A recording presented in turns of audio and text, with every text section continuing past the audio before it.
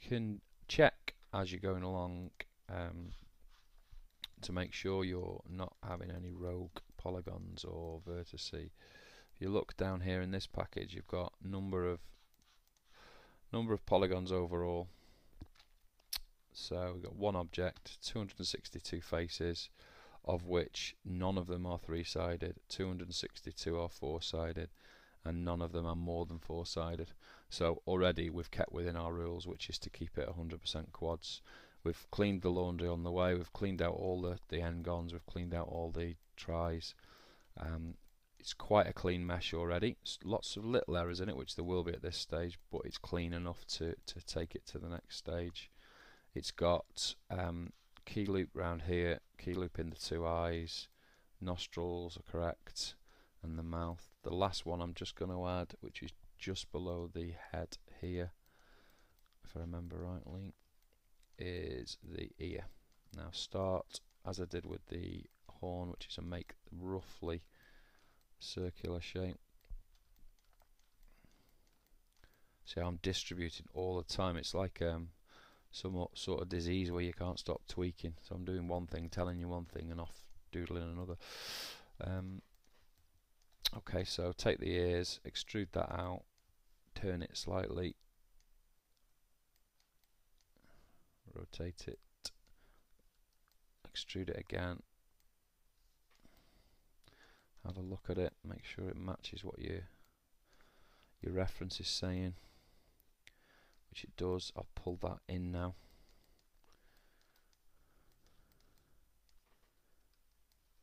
Like so, rotate it. Scale it down. All I'm using there is is the normal tool, the normal extrude tool. Uh, no fancy tools at all. And none really needed for a lot of this.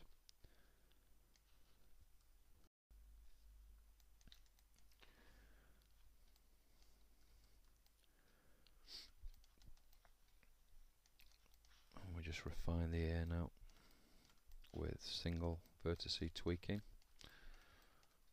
That's given us a flow around the outer edge. I'll show you that. That's gone all the way around the edge, which is nice. It's given us um, a good edge loop round the ear here. So there's a nice loop defined around. Perhaps we can colour that now because that is one of our loops. There, and I can even split that now because we will want to be able to wiggle that ear at some point when it's animated so good good deformation in there if it's done correctly that loop works fine or will work fine. Um, let's bring the air down slightly. There's no loop inside the ear yet um, which is one I was showing you on the drawing when we initially started. So a very quick way of doing that is to select all of these faces here up to there, in fact right up to there, extrude there like so, and then extrude back in. It does leave you with a mess down here, this isn't good, but you can clean that by hand. Get the polygon distribution right, where it's stretched or dragged out, like so. That's giving you a nice rounded look there. Keep looking at the form, so if the form is starting to look like uh, there's problems, then correct it on the fly.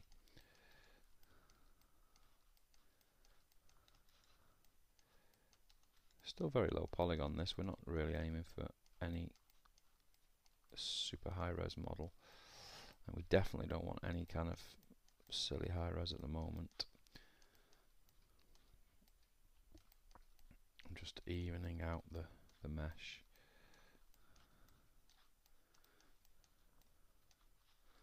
We'll we'll make that the shape of the ear. Again, we can refine that later. But there's a, you can see the ring there. Nice edge loop all the way through there, inside the ear.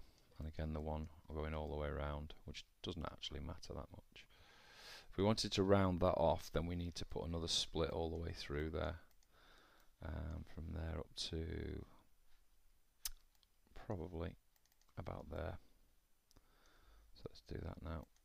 And that will give us the rounded shape when it's just helps in it when it's subdivided.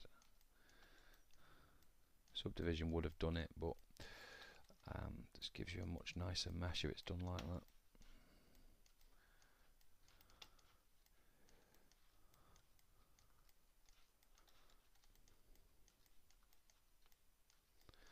And with that there you can get fatter part, you can give fatter parts of the ear, uh, the fatty bits at the back, etc. Where there's more muscle, more gristle rather than muscle.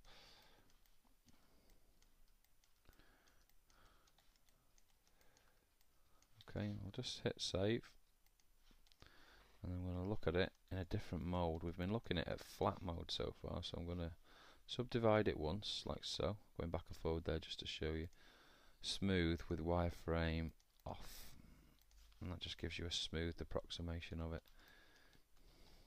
Um, and as you can see, when we come to getting some detail, that should be fine. It's quite big. Don't really want it that big. Um, but in terms of form we're nearly there with the, with the ear very quickly with just a few minutes work we've got the shape nice nicely defined um, and more importantly or as important the edge loops are pretty solid. So the, important one was the one round the ear there. And then depending on what you what you're aiming for you, you can put the, the one inside. Like so didn't actually need that to be fair because um, the, the, the animation won't cause any problems in the ear but okay so um, unsubdivide it and go back to the flat mode and put the wireframe back on. So all the major loops are in place now which is a good place um, to be at this stage.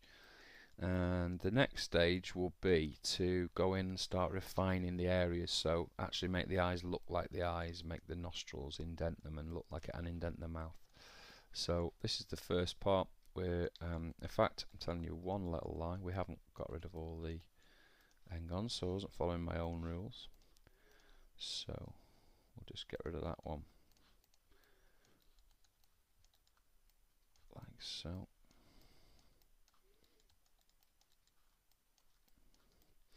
And the way we'll do this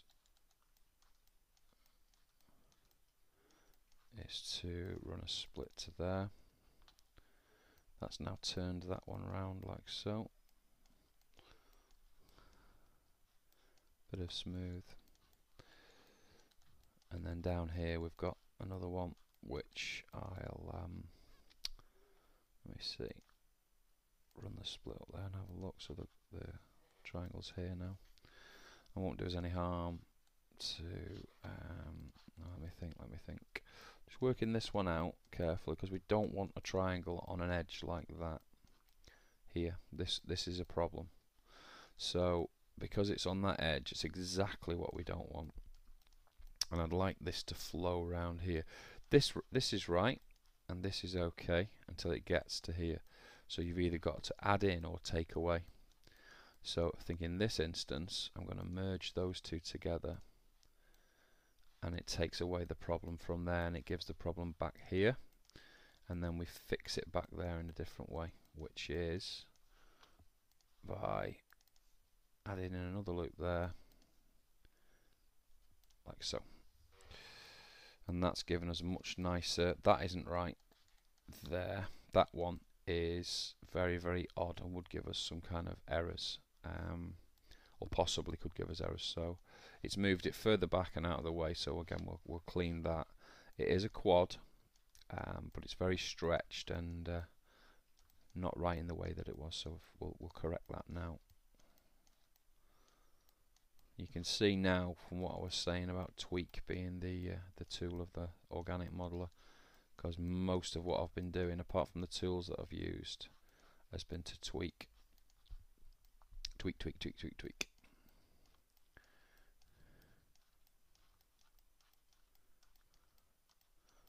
Okay. Very difficult to stop.